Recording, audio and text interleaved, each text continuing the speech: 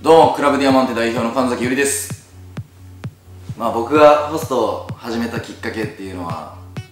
もう本当女の子と喋りたいからとかそんぐらいの軽い気持ちだったんですけど、まあ、いつのいつの間にかこうどっぷりハマっちゃって、まあ、代表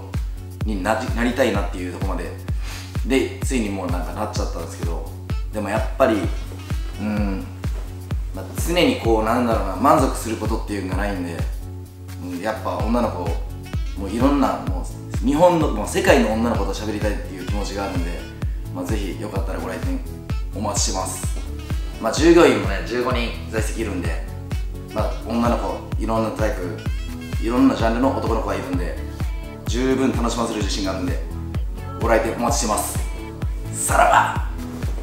好きなことで生きていく香川ホストクラブクラブディアマンテ神崎ゆり